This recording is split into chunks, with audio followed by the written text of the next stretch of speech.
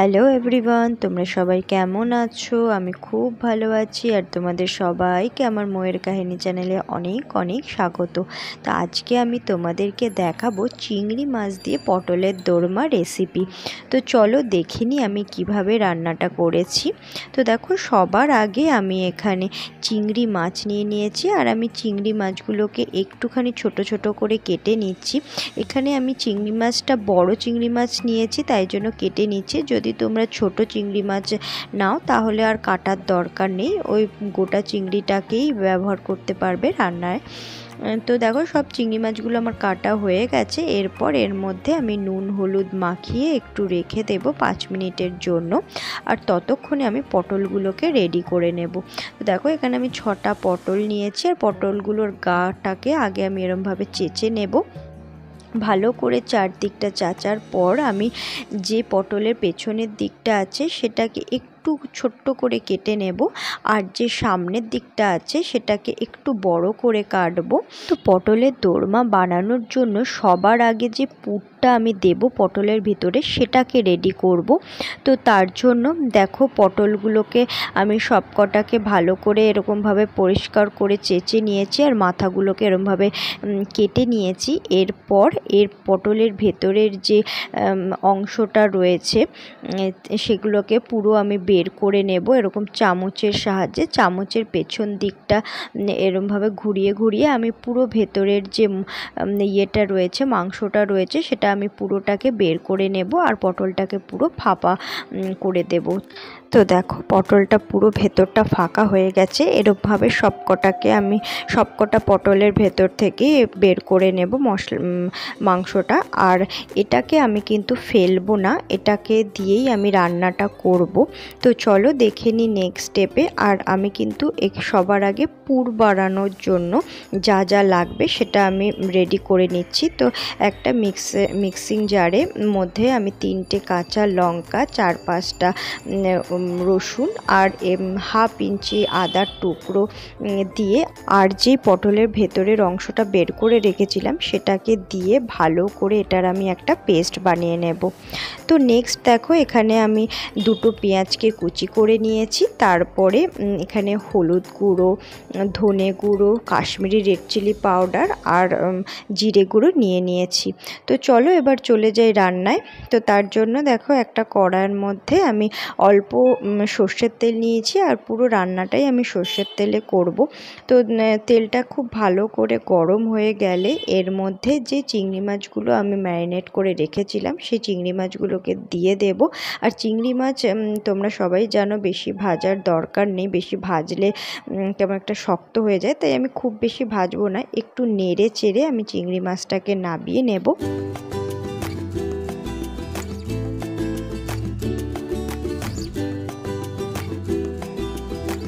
চিংড়ি মাছটা নাবিয়ে নেওয়ার পর কড়াইয়ের মধ্যে আমি আবারও সামান্য সর্ষের তেল দিয়ে দেব। আর তেলটা একটু গরম হয়ে আসলে যেই পেঁয়াজগুলোকে আমি কুচি করে রেখেছিলাম সেটা দিয়ে দেব। এখানে আমি আগেও বলেছি দুটো মিডিয়াম সাইজের পেঁয়াজকে আমি কুচি করে নিয়েছি। আর পেঁয়াজটাকে একটু লাল লাল হয়ে যাওয়া অবধি আমি ভাজবো। দেখো একটু লাল লাল হয়ে গেছে পেঁয়াজটা। এরপর এর মধ্যে আমি যে চিংড়ি মাছগুলো ভেজে রেখেছিলাম, সেটা দিয়ে দেব। আর পেঁয়াজ আর চিংড়ি মাছটাকে একটু ভালো করে নেড়ে চেড়ে ভেজে নেওয়ার পর যে মশলাটা আমি রেডি করে রেখেছিলাম সেই মশলাটা আমি এর মধ্যে দিয়ে দেব। তোমাদেরকে আগেই দেখিয়েছি, এর মধ্যে আমি কি কি দিয়েছি, লঙ্কা, আদা, রসুন আর পটলের ভেতরের অংশটা দিয়ে আমি একটা ভালো করে ফাইন পেস্ট তৈরি করে নিয়েছি, সেটাই আমি এর মধ্যে দিয়ে দিলাম। আর এটা দিয়ে একটু নেড়ে চেড়ে নিয়ে এরপর এর মধ্যে আমি সব রকম ড্রাই স্পাইসেসগুলো দিয়ে দেব। যেমন হচ্ছে হাফ চামচ হলুদ গুঁড়ো হাফ চামচ Kashmiri red chilli powder half চামচ জিরে গুঁড়ো আর হাফ চামচ ধনে গুঁড়ো। আর নুনটা তোমরা তোমাদের স্বাদ অনুযায়ী দেবে। তো সব রকম মশলা দেওয়ার পর এটাকে আমি খুব ভালো করে কষিয়ে নেব যতক্ষণ না অবধি মশলার কাঁচা গন্ধটা চলে যায়। এটা আমি দশ মিনিট মতন একটু লো ফ্লেমে রেখে আমি এটাকে ভালো করে কষিয়েছি। আর দেখো মশলাটা অনেকটাই কষে গেছে। তেল ছেড়ে দিয়েছে। আর যখন দেখবে যে এটা যখন নাড়া, নাড়ানোর সময় কড়াইয়ে লেগে যাচ্ছে না তখন ভাববে যে এই পুরটা রেডি হয়ে গেছে। আর এটা এখন আমি নাবিয়ে ঠান্ডা হতে দেব আর ততক্ষণে আমি গ্রেভি তৈরি করার জন্য প্রিপারেশন নিয়ে নেব। তো চলো দেখে নিই কী কী আমি গ্রেভি তৈরি করার জন্য কি কি নিয়েছি। তো দেখো একটা বাটির মধ্যে আমি এক চামচ কাজু বাদাম আর এক চামচ পোস্ত একটু জল দিয়ে ভিজিয়ে রেখে এটাকে আমি মিক্সিতে পেস্ট করে নেব। আর মিক্সিতে পেস্ট করার সময় এর মধ্যে আমি দু চামচ দইও অ্যাড করে দেব। তো দেখো এই আমার এরম হয়েছে মিক্সিতে পেস্ট করার পর এর মধ্যে আমি একটা পেঁয়াজ আর একটা টমেটোকেও বেটে নেব। তো দেখো আমার পুরটা একদম ঠান্ডা হয়ে গেছে। এরপর এই পুরটাকে আমি এই পটলগুলোর মধ্যে আমার হাত দিয়েই আমি ভরবো। এর এর জন্য আমি চামচ ব্যবহার করছি না, তার কারণ হচ্ছে হাত দিয়ে আঙ্গুল দিয়ে ভেতরটায় চেপে চেপে পুরটাকে ভরতে লাগবে। তো দেখো বন্ধুরা, আমি কেরমভাবে পটলের ভেতরে পুরগুলো ভরছি, এরমভাবেই তোমরাও ভরবে।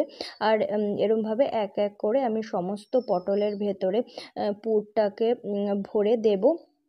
আর পুরটাকে ভরে দেওয়ার পর এর যে মাথাগুলো রয়েছে সেইটা, সেই মাথাগুলো এরকম যে স্টিক আছে, এই স্টিকটা দিয়ে আমি আটকে দেব। তোমরা চাইলে এখানে টুথপিকও ব্যবহার করতে পারো।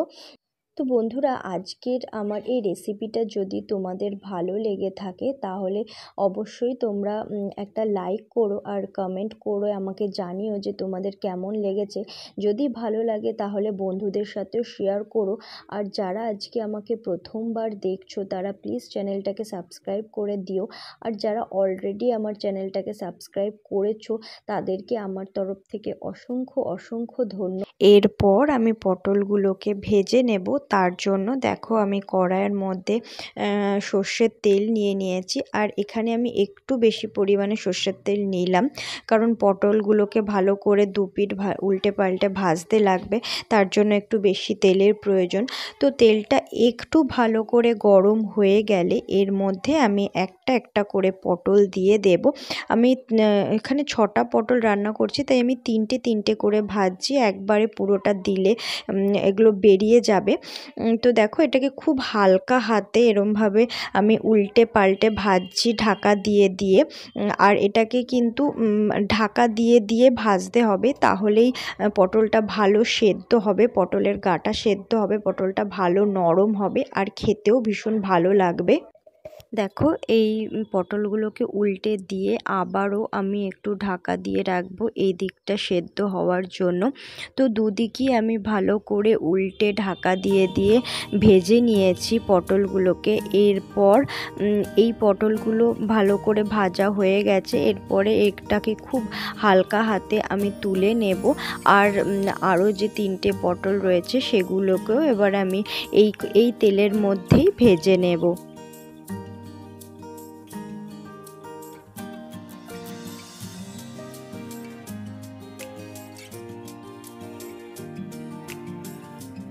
দেখো বন্ধুরা, পটলগুলো আমার মোটামুটি ভাজা কমপ্লিট হয়ে গেছে।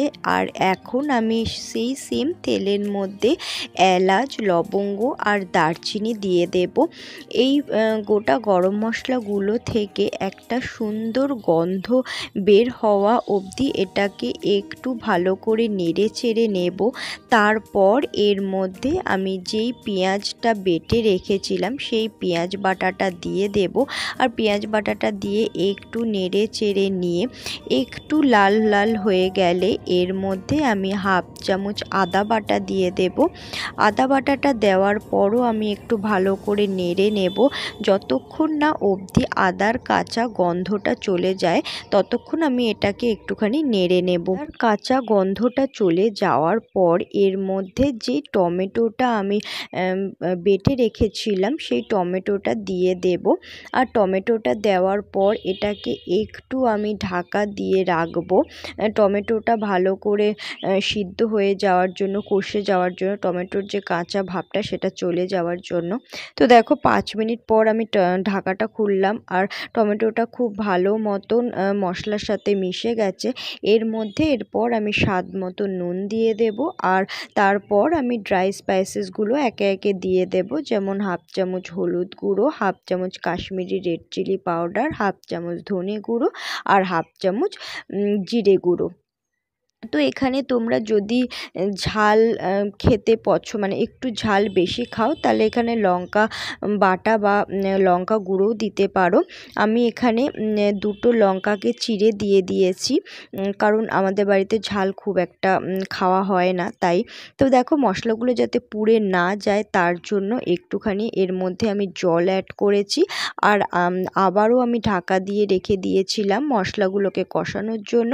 তো মশলাগুলো আমার খুব ভালো করে কষে গেছে। এর মধ্যে এরপর আমি যেই পেস্টটা বানিয়ে রেখেছিলাম, কাজু বাদাম পোস্ত আর টক দইয়ের, সেই পেস্টটা এর মধ্যে আমি এবারে দিয়ে দিলাম। আর দিয়ে খুব ভালো করে এটাকে নাড়তে লাগবে। আর এই সময় কিন্তু অবশ্যই গ্যাসের ফ্লেমটাকে একদম লোতে করে রাখতে হবে।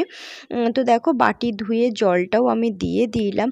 আর এটাকে একটু ভালো করে নেড়ে চেড়ে নিয়ে কষার জন্য আমি রেখে দেব। ঢাকা দিয়ে পাঁচ মিনিট পর যখন আমি ঢাকাটা খুললাম, দেখো এর থেকে তেল বেরিয়ে গেছে। তার মানে মশলাটা আমার খুব ভালো করে কষে গেছে। এরপর এর মধ্যে আমি এই যে পুরটা যেটা আমি তৈরি করেছিলাম, সেটা একটুখানি বেঁচে গেছিল। তাই সেই পুরটাকে আমি এর মধ্যে দিয়ে দিয়েছি। এটা কিন্তু কোনো জরুরি না, এটা আমার পুরটা বেঁচে ছিল আমি তাই পুরটা নষ্ট করিনি, দিয়ে দিয়েছি। তোমাদের যদি না বাঁচে, তাহলে তোমরা দেবে না। কোনো ব্যাপার না, এটাই কিন্তু স্বাদের কোনো রকম পরিবর্তন হবে না।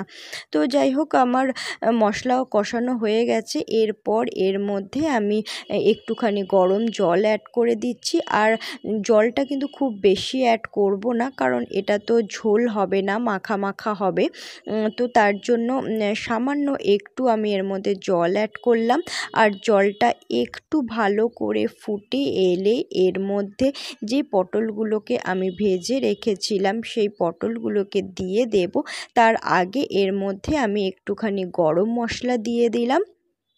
তো এর মধ্যে দেখো এবারে পটলগুলোকে আমি দিয়ে দিচ্ছি। আর এই পটলের দোরমাটা গরম ভাতের সাথে ফ্রায়েড রাইসের সাথে দারুণ লাগে খেতে। তোমরা প্লিজ একদিনকে ট্রাই করো। দেখো খুব ভালো লাগবে খেতে। তো দেখো আমি পটলটা দিয়ে ঢাকা দিয়ে রেখেছিলাম যাতে এই যে গ্রেভিটা পুরো পটলের ভেতরে চলে যায় পটলটা নরম হয়ে যায়। তো দেখো জলটাও আমার শুকিয়ে গেছে আর এর এখন আমার পটলের দোরমাটা সার্ভ করার জন্য একদম রেডি হয়ে গেছে। তোরা আজকের রেসিপিটা কেমন লেগেছে? প্লিজ তোমরা কমেন্ট করে জানিও। আর যদি ভালো লেগে থাকে তাহলে প্লিজ বন্ধুদের সাথে শেয়ার করে দিও। তো আজকের মতন ভিডিওটা এখানেই এন্ড করছি। দেখা হবে আবার নতুন একটা ভিডিওতে নতুন একটা রেসিপি নিয়ে। ততক্ষণের জন্য টাটা বাই বাই